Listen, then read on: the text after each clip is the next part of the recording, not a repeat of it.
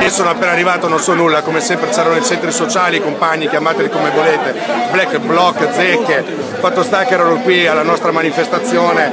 e le forze dell'ordine erano qui schierate, li hanno visti arrivare e non hanno fatto nulla, anzi hanno caricato i nostri ragazzi solo perché hanno cercato di respingerli, tutto qua.